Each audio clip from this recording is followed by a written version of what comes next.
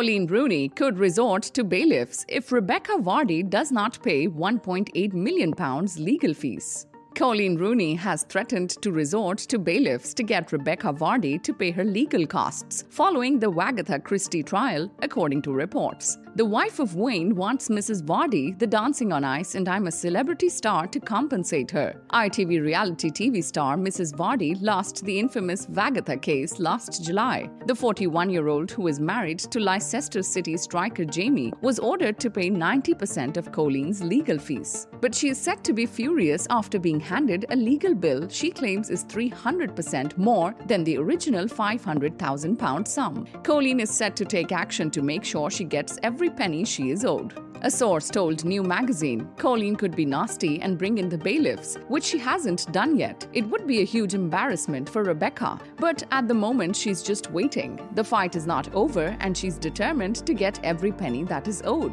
She's wasted enough time and money on this already. The insider added it wasn't Coleen who wanted to go to court in the first place, but Rebekah pushed and pushed, and after losing, she must pay up. After the ruling, Mrs. Vardy pleaded with those who had subjected her to abuse to stop. Subscribe to our channel for the latest on your favorite celebrities. Like, comment, and share, and don't forget to press the bell icon for notifications.